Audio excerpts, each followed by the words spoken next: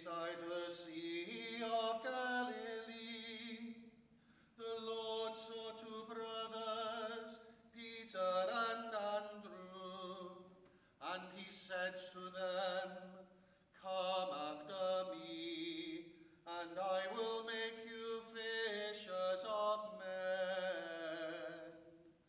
Glory be to the Father, and to the Son, and to the Holy Spirit, as it was in the beginning, is now, and ever shall be, world without end. Amen.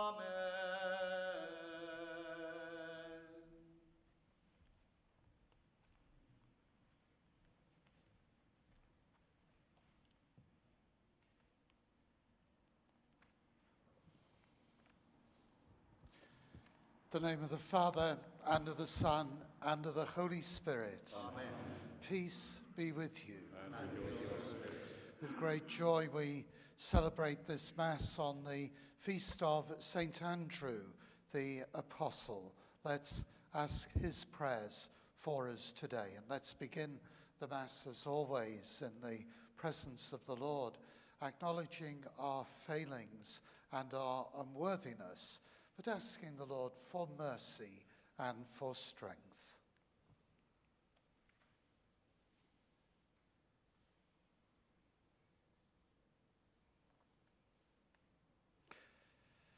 You were sent to heal the contrite of heart. Kyrie eleison. Kyrie eleison. You came to call sinners. Christe eleison.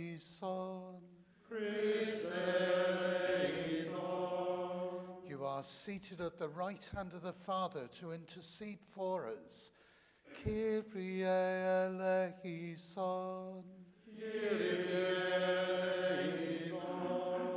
May Almighty God have mercy on us, forgive us our sins, and bring us to everlasting life. Glory to God in the highest. And on earth peace to people of good will. We praise you, we bless you, we adore you, we glorify you.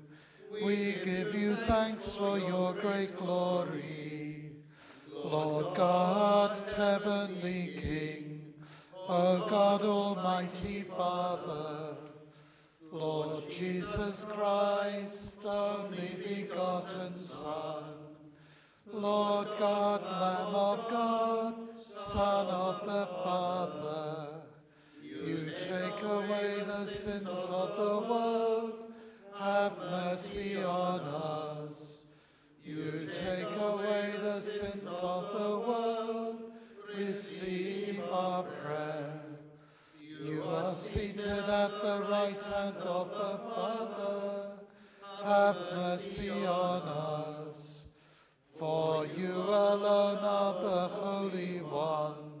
You alone are the Lord. You alone are the Most High. Jesus Christ, with the Holy Spirit, in the glory of God the Father. Amen.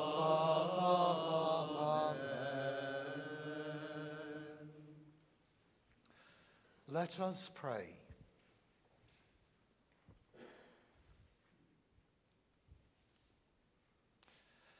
We humbly implore your majesty, O Lord, that just as the blessed apostle Andrew was for your church a preacher and pastor, so he may be for us a constant intercessor before you. Through our Lord Jesus Christ, your Son, who lives and reigns with you in the unity of the Holy Spirit, God, forever and ever. Amen.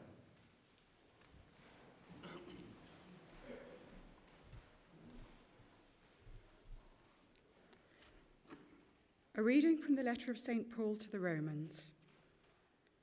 If your lips confess that Jesus is Lord, and if you believe in your heart that God raised him from the dead, then you will be saved. By believing from the heart, you are made righteous. By confessing with your lips, you are saved. When Scripture says, Those who believe in him will have no cause for shame, it makes no distinction between Jew and Greek. All belong to the same Lord who is rich enough, however many ask his help. For everyone who calls on the name of the Lord will be saved. But they will not ask his help unless they believe in him, and they will not believe in him unless they have heard of him, and they will not hear of him unless they get a preacher, and they will never have a preacher unless one is sent. But as Scripture says, the footsteps of those who bring good news are a welcome sound. Not everyone, of course, listens to the good news. As Isaiah says, Lord, how many believed what we proclaimed? So faith comes from what is preached, and what is preached comes from the word of Christ. Let me put the question Is it possible that they did not hear? Indeed, they did. In the words of the psalm, their voice has gone out through all the earth, and their message to the ends of the world. The word of the Lord. Thanks be to God.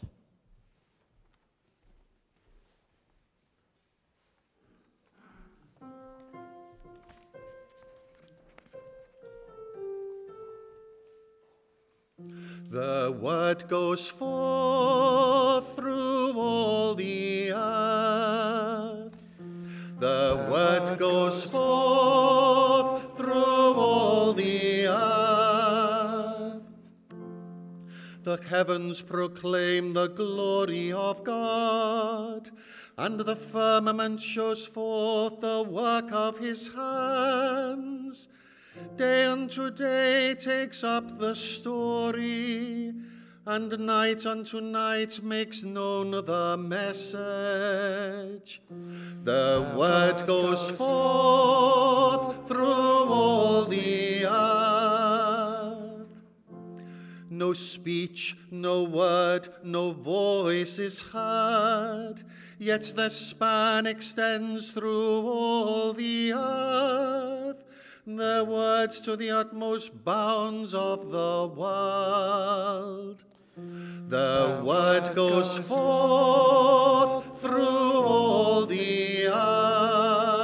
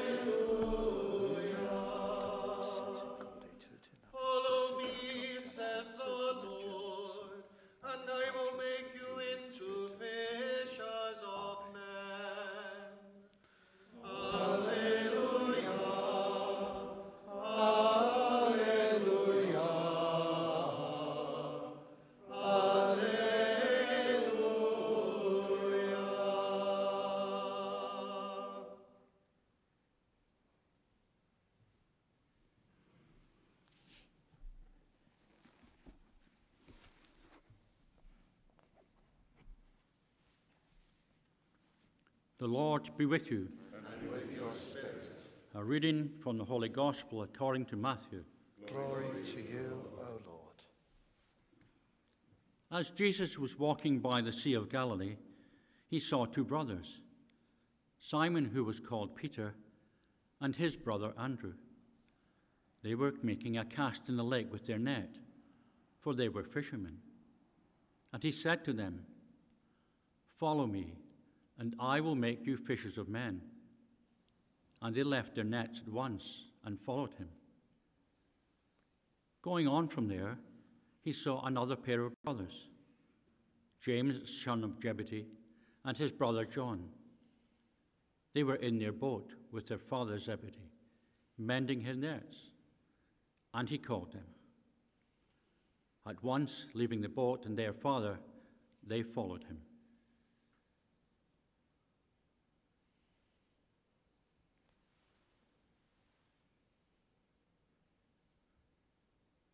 The Gospel of the Lord. Praise to you, Lord Jesus Christ.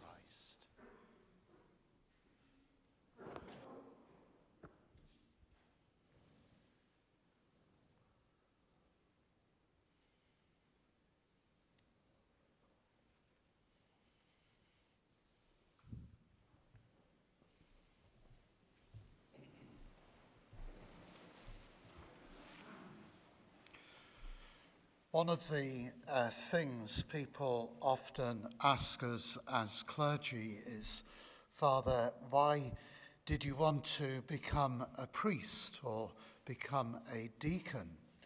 In St. George's, one of the children asked me, Why did you want to become a bishop? Um, I think every, every one of us has a unique story to tell. Um, I've said this before, as a child, I always wanted to be an astronomer.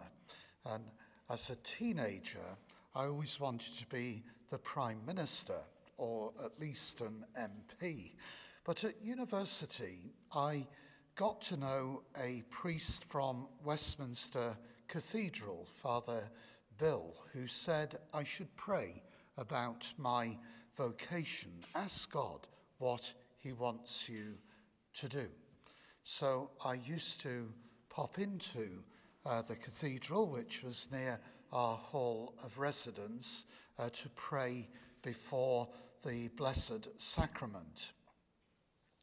Brought up a Catholic, I had thought of becoming a priest, but it was gradually in the cathedral uh, there that I became convinced of two things that Jesus was calling me to a much deeper faith, and that he might be calling me to become a priest. I'm always grateful to Father Bill for literally bringing me closer to Jesus Christ through his church, as one might say, and for helping me to discern my vocation. In today's Gospel, St. Matthew tells us about St. Andrew's vocation. Born in Bethsaida on the Sea of Galilee, a fisherman, the brother of Simon Peter, Jesus spotted him as he was walking along the shore. Follow me, and I will make you fishers of people. In St. John's Gospel, we're told a bit more that Andrew was a disciple of St. John the Baptist, who directed him to the Messiah Behold, the Lamb of God. And we then see him later during his seminary formation, telling Jesus in John 6, verse 8, about the boy with the loaves and the fishes. And later, when some Greeks rolled up wanting to see Jesus, Philip consulted him before they went to the Lord. Andrew was present at the Last Supper and at Pentecost. And after Pentecost, it's said that he preached the gospel around the Black Sea and throughout Greece and near parts of Turkey. He was martyred by crucifixion in Patras, bound rather than nailed to an X shaped cross, a saltire. And today this is commonly referred to, of course, as St. Andrew's Cross. He is the patron of Scotland, although why is historically complex. It seems to have been the result of a great battle and victory over, guess who? The Angles. Over the last uh, 24 hours in our gathering, we've been following the structure of the Holy Father's book A Time to See, A Time to Choose, and now we're just moving into a time to act. We pray for the grace to work together now so as to transform the diocese and to hand on to the next generation a great legacy. The key thing is our vision, where we come from, where we are now, where the Holy Spirit is leading us. And that's why it's good today, uh, appropriate, providential, we celebrate Saint Andrew. He brought many people to Christ, even his own brother. But as a fisher of people, he went that extra mile, suffering discomfort, being ridiculed, even paying the ultimate price, his life. Indeed, in his vocation, I think we can surely see something of our own. Jesus called him personally to follow him. He formed him through friendship and he sent him out to proclaim the gospel. Jesus has called you and me to follow him. He's formed us in his friendship. He's sent us out to proclaim the good news to the poor and needy. So it's really important for our health. I would say for our happiness, our emotional and psychological happiness, and for our growth in holiness, that as clergy, and by the word clergy I do mean deacons as well as priests, of course, but as clergy, that we reflect every day on our vocation. So I think how we begin our prayers with thanking God for that amazing call of all people to me and to you.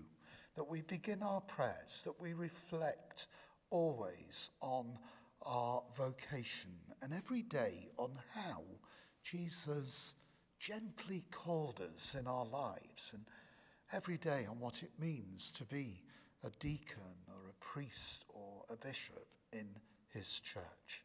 So, in this Mass, simple reflection today. Let's thank God for our calling. Let's thank Him for all He's given us. Let's ask Him for the grace, like Andrew, to remain faithful, to keep trying, to persevere, whatever the cost. Let me end with a prayer from the chapel of St Andrew in Westminster Cathedral. Lord, we pray for the people of Scotland. Bless them with peace and prosperity. Help us all, like St. Andrew, to hear Jesus' call to be his disciple and to make his gospel known in our world. Amen.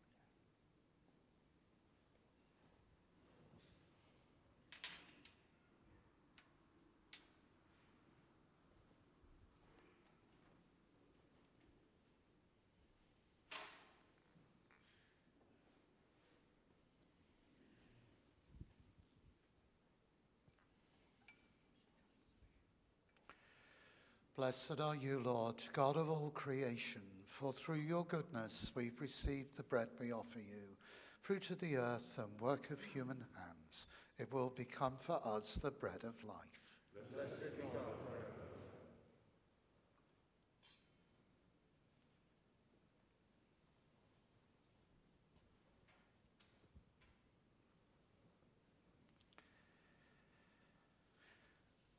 Blessed are you, Lord, God of all creation, for through your goodness we've received the wine we offer you, fruit of the vine and work of human hands. It will become our spiritual drink.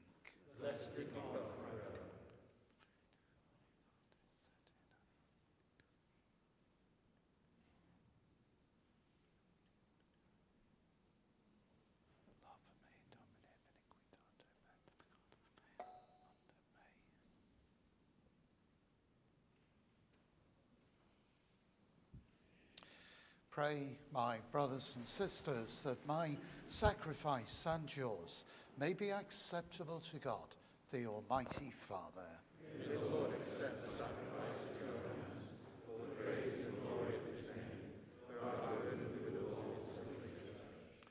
Grant us, Almighty God, that through these offerings which we bring on the feast day of Saint Andrew, we may please you by what we have brought and be given life by what you have accepted. Through Christ our Lord. Amen.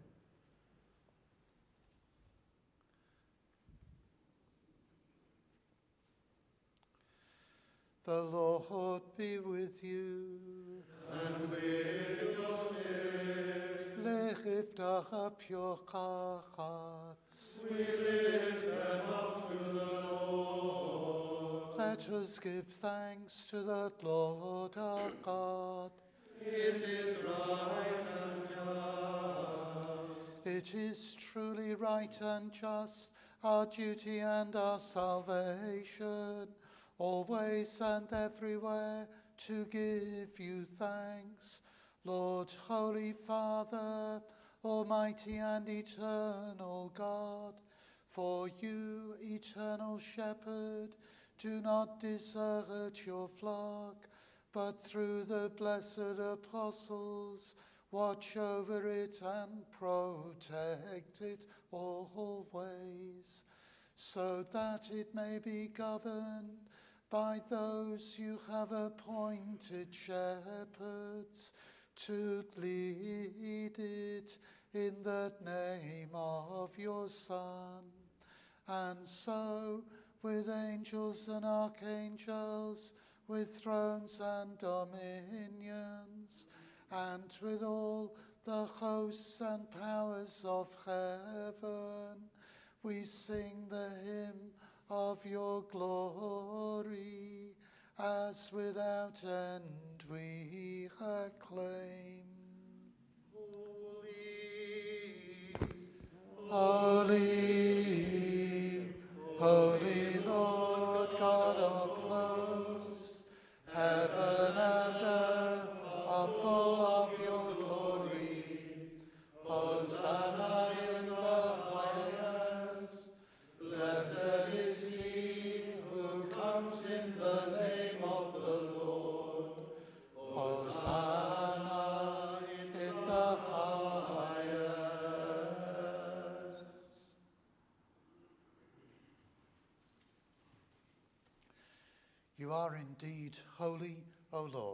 and all you have created rightly gives you praise.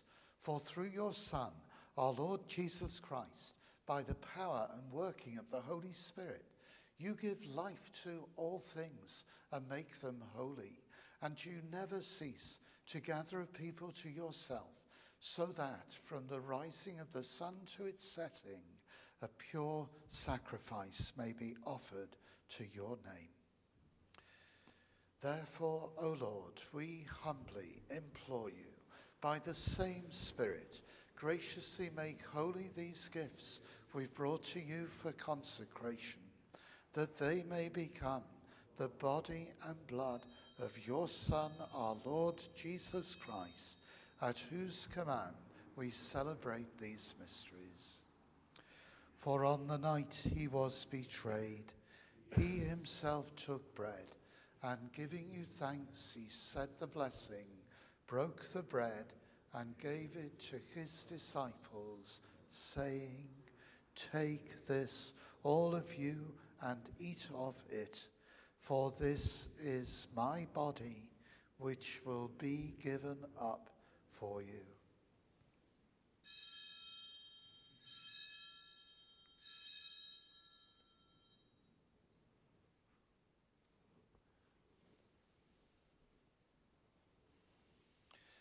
In a similar way, when supper was ended, he took the chalice, and giving you thanks, he said the blessing, and gave the chalice to his disciples, saying, Take this, all of you, and drink from it, for this is the chalice of my blood, the blood of the new and eternal covenant, which will be poured out for you and for many for the forgiveness of sins. Do this in memory of me.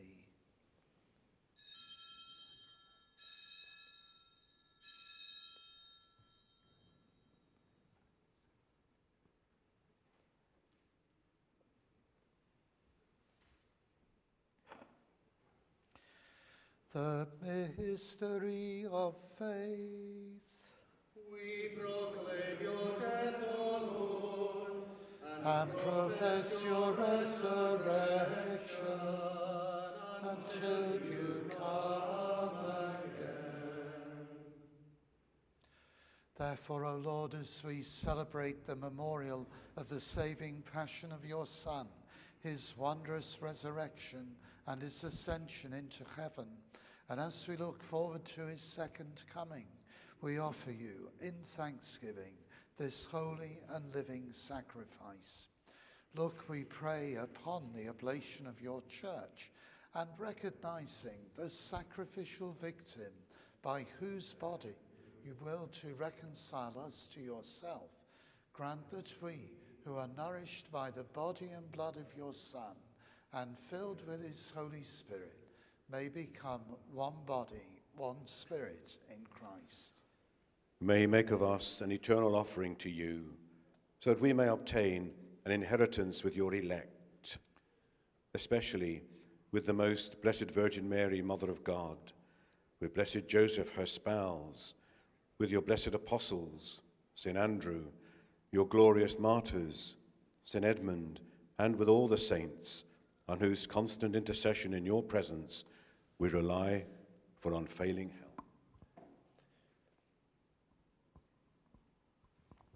May the sacrifice of our reconciliation, we pray, O Lord, advance the peace and the salvation of all the world. Be pleased to confirm in faith and charity your pilgrim church on earth, with your servant Francis, our Pope, and Philip, our Bishop, the order of bishops, all the clergy, and the entire people you have gained for your own. Listen graciously to the prayers of this family whom you have summoned before you. In your compassion, O merciful Father, gather to yourself all your children scattered throughout the world.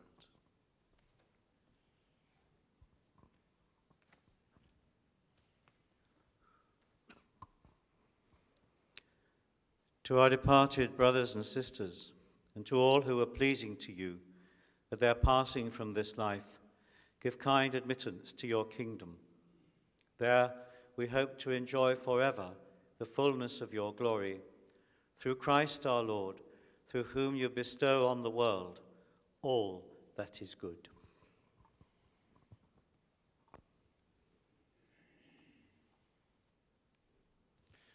Through him and with him and in him, O God Almighty Father, in the unity of the Holy Spirit, all glory and honor is yours forever and ever. Amen.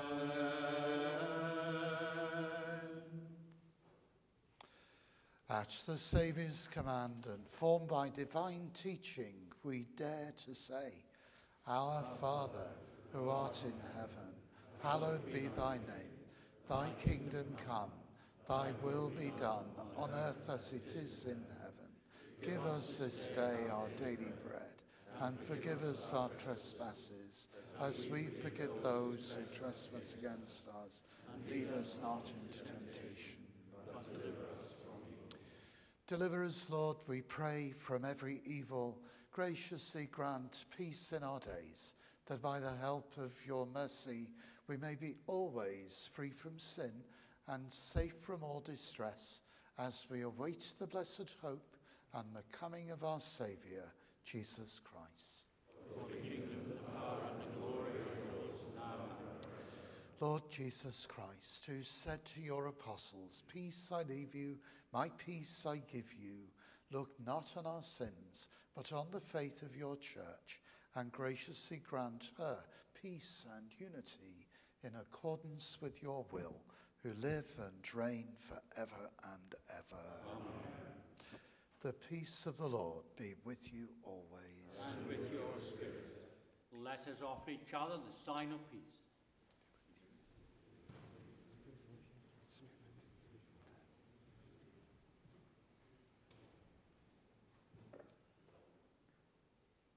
Lamb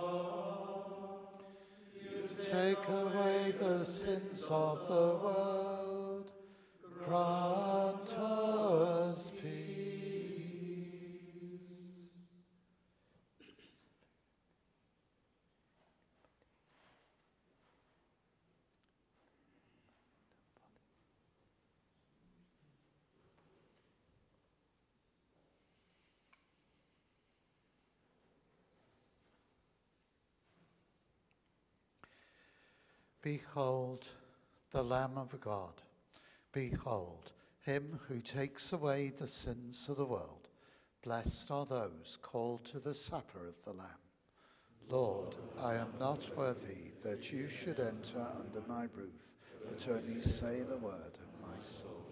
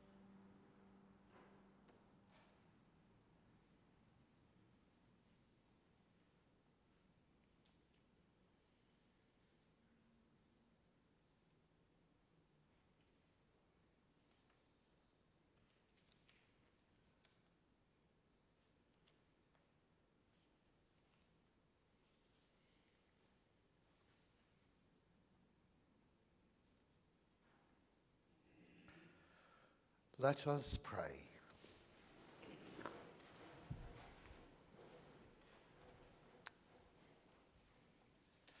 May communion in your sacrament strengthen us, O Lord, so that by the example of the blessed Apostle Andrew, we who carry in our body the death of Christ may merit to live with him in glory, who lives and reigns forever and ever. The Lord be with you. Blessed be the name of the Lord. Our help is in the name of the Lord. May Almighty God bless you, the Father, and the Son, and the Holy Spirit. Amen. Go in peace, glorifying the Lord by your life. Thanks be to God.